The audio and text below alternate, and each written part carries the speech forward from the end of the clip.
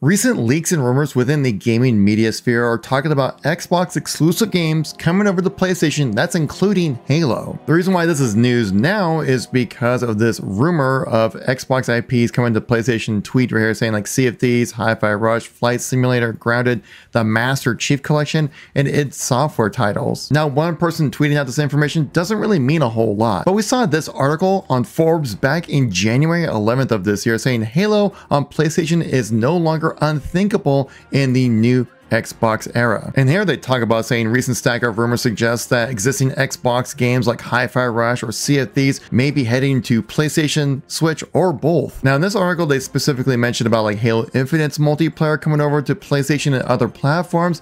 I think this is more just saying like why not because within that same logic you think that you put the main Xbox IPs over to other platforms. An article from Tom Warren on The Verge, very credible source as well, saying that Microsoft weighs in launching Indiana Jones on the PlayStation PlayStation 5. And basically the article talks about saying that the new game that's coming out, that most likely it's the tentative date of December of 2024 for this Indiana Jones game to come out, could come out on PlayStation 5 as a timed release after the Xbox initial release to be exclusive on there for a few months, then come over to PlayStation. A tweet here from Tom Warren, again, a very credible source with Gaming Insider Information News, says, I can confirm that Hi-Fi Rush data mine is legit and these t-shirt textures files are in the game. It looks like Hi-Fi Rush is coming to PS5 and Nintendo Switch. And the guy who broke the news about Tatanka and that insider information, Jez Corden said right here saying, you'll see Halo on PlayStation eventually, I reckon. So it's not just one person on the internet saying, bro, trust me, Halo's coming to PlayStation. There are multiple outlets saying this. So the big thing to take away from this information is that Xbox titles might be exclusive or timed exclusives on Xbox and then eventually come over to like the Nintendo Switch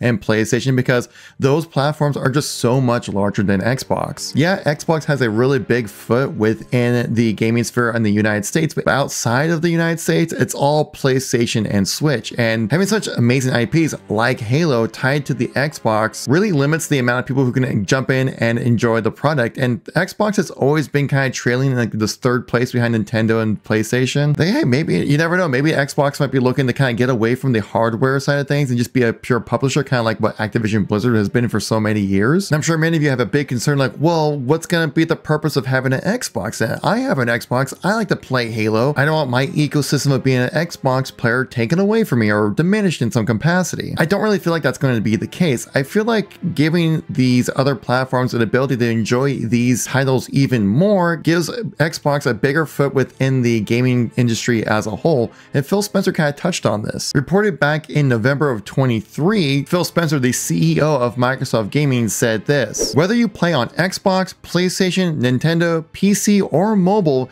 you are welcome here and will remain welcome. Even if Xbox isn't where you play, play for your favorite franchise because when everyone plays, we all win. Xbox is a community of players, so it's important to build a community of players across a variety of platforms, which gives the community and the brand even more strength. Just as we think of the ROG Ally and Steam Deck as part of the Xbox community, we need to think of the many Nintendo Switch and PlayStation users as part of the Xbox community in the future. So after hearing all these recent leaks and rumors going around, especially about Halo and other Xbox titles going to other platforms, hearing what Phil Spencer literally just said about saying having Nintendo and PlayStation players considered Xbox community members as well, how do you get those players to be part of the Xbox community? Well, you give them access to Xbox games. So giving them access to Sea of Thieves, Hi-Fi Rush, Microsoft Flight Simulator, Grounded, Halo the Master Chief Collection, id's next title,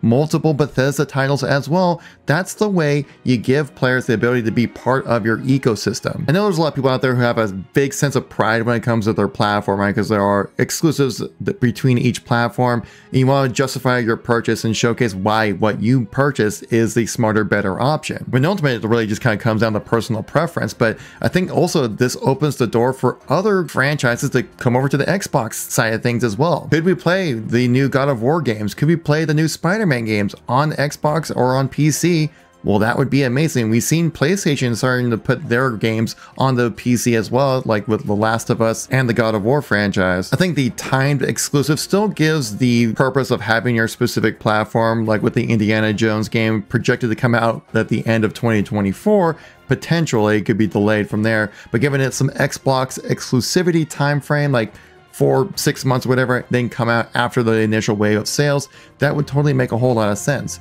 And now when it comes to just talking about Halo specifically, when it comes to this type of idea of Halo going beyond the Xbox and PC platform. I think it's a really good thing because more people getting a chance to play Halo is better. So many people online like to bring up the Steam numbers when it comes to Halo Infinite. Well, this is the opportunity to get more people to play the game. If your biggest issue is having a low population with Halo, why not branch out to the majority of the gaming audience out there to give people the opportunity to play these amazing franchises? Now, keep in mind, nothing official has been announced by Xbox, but we usually we get this type of news and information originally from these leakers and insiders of the industry to talk about what's going to be coming around very soon. And I think we might see these kind of announcements happening at the June Xbox showcase that happens every year. Basically, it looks like Xbox is looking to branch out beyond their own specific platform to be a little bit more generous to other gamers out there to experience Xbox quality games. But of course, once we get some official information,